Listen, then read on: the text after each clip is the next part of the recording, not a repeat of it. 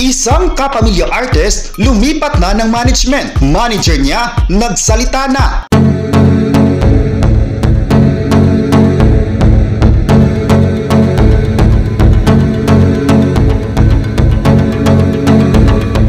James Reid na ang manager ni Liza Soberano at nagpaalam na ito sa dati niyang manager na si Ogie Diaz. Kinumpirma ito ni Ogie Diaz sa kanyang YouTube channel na in-upload niya na may titulong bagong manager ni Liza Soberano, Ogie Diaz out na. Ayon sa vlog ni Ogie Diaz, marami na raw nagtatanong sa kanya kung siya pa rin ang manager ni Liza Soberano matapos ang sunod-sunod na paglabas ng mga larawan ng actress na kasama si James Reid sa USA. Dagdag pa ni Ogie Diaz, siya pa rin daw ang manager ni Liza Soberano hanggang May 31, 2022. 11 years na raw silang magkasama bilang mag-ama at bilang manager talent.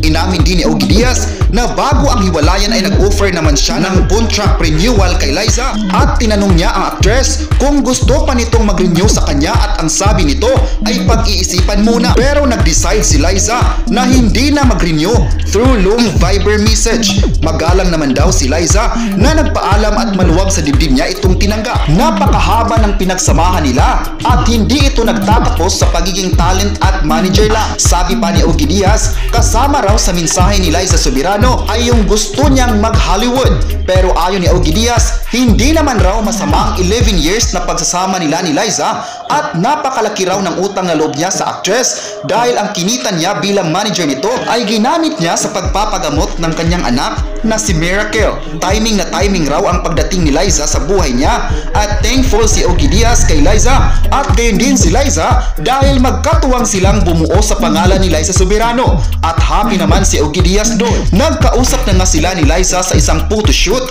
at naging maayos naman ang kanilang usapan. Basta ang binitawan niyang salita sa actress ay lagi siyang nandyan para sa kapamilya star. Perma din ni Ogie Diaz na ang team ni James Red ang magmamanage sa career ni Liza Soberano dito sa Pilipinas at sa USA dahil gusto nitong subukan ang Hollywood. Proud naman si Ogie Diaz na naghiwalay sila ni Liza Soberano na may nangyari sa career ng actress tulad din ni Vice Ganda. Ayon pa ni Ogie Diaz, naghiwalay sila ni Vice Ganda na Vice Ganda na. Ito naman daw, naghiwalay sila ni Liza na Liza Soberano din. Mas insulto daw para sa kanya kung lumayas yung talent kasi walang nangyari sa career niya. Ipinahayag ni Ogie Diaz na masaya siya kay Liza sa bagong landas na tatahakin nito. Kayo, ano ang masasabi nyo na lumipat na ng management si Liza Soberano? I-comment na kung proud ba kayo sa kanyang desisyon at huwag kalimutang i-subscribe ang ating YouTube channel.